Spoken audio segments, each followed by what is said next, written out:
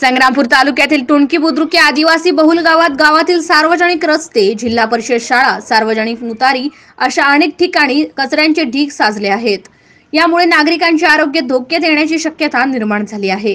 ग्रामपंचायत कार्यक्षेत्रात पाणी पुरवठा स्वच्छता रस्ते सांडपाणी घनकचरा व्यवस्थापन गावातील पथदिवे इत्यादी सुविधा पुरवणे तसेच गावातील विविध उपक्रम हाती घेणे बंधनकारक असते. तसेच शासनाने विहित केलेल्या वेळापत्रकानुसार व गावातील ग्रामस्थांच्या आवश्यकतेनुसार ग्रामसभा घेणे गरजेचे असते. सन दोन हजार एकवीस व बावीसनुसार ग्रामीण भागातील ग्रामपंचायतच्या माध्यमातून केंद्र आणि राज्य सरकारच्या विविध महत्त्वाच्या योजना अंमलात आणल्या असून त्यामध्ये गावातील स्वच्छता आरोग्य व पाणी पुरवठा हा ग्रामपंचायत कार्यालयामार्फत अंमलात आणणे महत्त्वाचा विषय आहे. असे असताना सुद्धा गावात पाणी पुरवठा योजना काही दिवसांपासून विस्कळीत झाली आहे. एकीकडे गावाचा विकास म्हणजे देशाचा विकास असे बोलले जाते. त्यातच पंधराव्या वित्त आयोगाअंतर्गत गावाला मिळालेल्या एकूण निधींपैकी पन्नास टक्के निधी पाणी पुरवठा स्वच्छता आदी बाबींवर खर्च होतो. तर उर्वरित पन्नास टक्के निधी इतर बाबींवर खर्च करता येतो.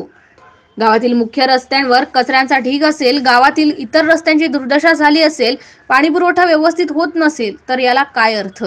असा नाराजीचा सूर टोणकी ग्रामस्थांकडून व्यक्त होत आहे.